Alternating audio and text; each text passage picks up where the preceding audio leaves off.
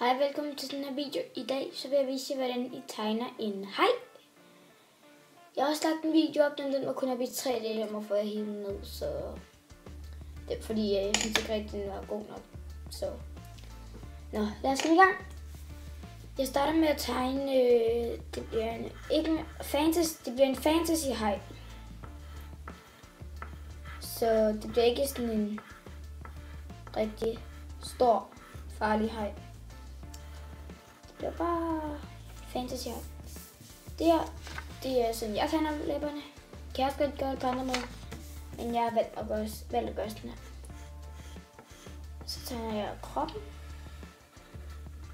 Den bliver bare sådan lidt stælagt. Sådan her. Så tegner jeg et øje. I kan putte alle udtryk, I, have, I vil have i øjet. For eksempel her, så kan jeg putte normalt øje i.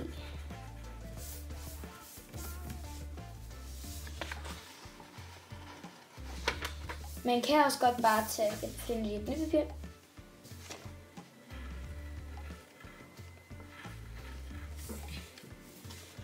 Her, så vil jeg vise jer, hvordan I kan tegne alle øjnene. Tegne den bare med en streg igennem. Tegne den ligesom jeg gjorde. Tager Tegne ligesom jeg gjorde.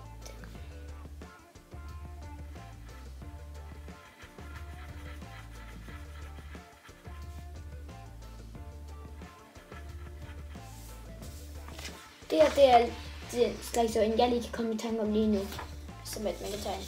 Lad os komme tilbage til det, vi, øh, vi virkelig skulle lave. Vi var nået så langt her med hegn. Så nu tror jeg, jeg vil prøve at lave nogle øh, øh, gælder. Der.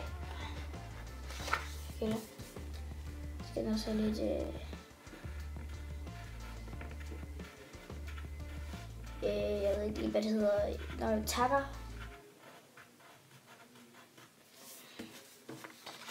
Sådan her. Øhm, og så en hale.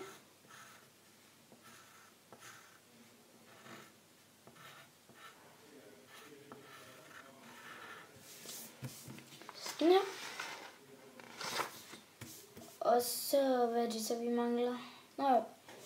Og hvis I kan, eller hvis, ja, jeg prøver lige at vise det. Man kan også, ja, jeg klipper lige i det. Nu så klipper jeg i det, og så vender jeg tilbage, når jeg har, ja, når jeg har tegnet det. Så er jeg tilbage, og øh, det her det er resultatet. Man kan også godt putte det andre steder på kroppen, men det, se, det er bare sådan en lille slags maske eller sådan noget, jeg har puttet på. Man kan også godt lave det på halen. Jeg laver det bare sådan, og ja, fokusere. Man kan også godt prøve at lave det på halen. Så gør jeg bare sådan der. Bare lave en masse små bobler over det hele.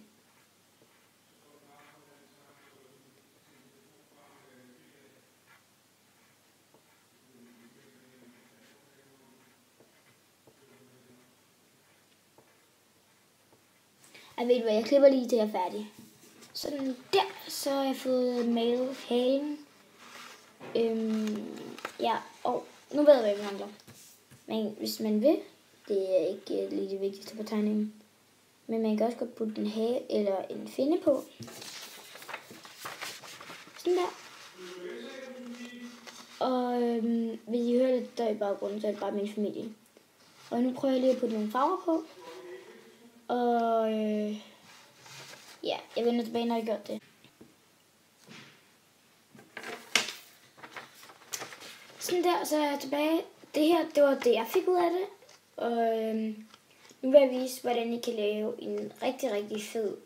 Øh, ja, jeg ved ikke rigtig, hvad det hedder. Men jeg prøver at vise, hvordan I kan få en del lavet lave det. Øhm, ja, okay, jeg viser det.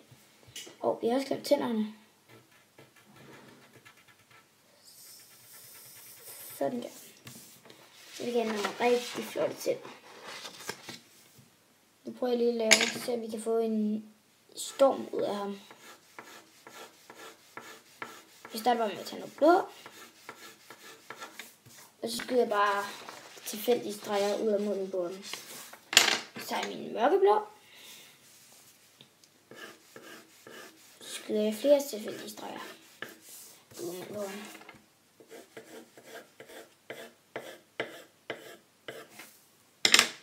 Og så hvis man vil, det er det ser også meget cool ud, men hvis man vil, så kan man tage at lave sådan her.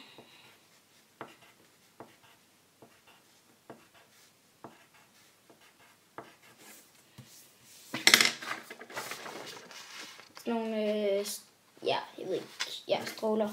Nej, pigge. Nej, det ser dumt ud.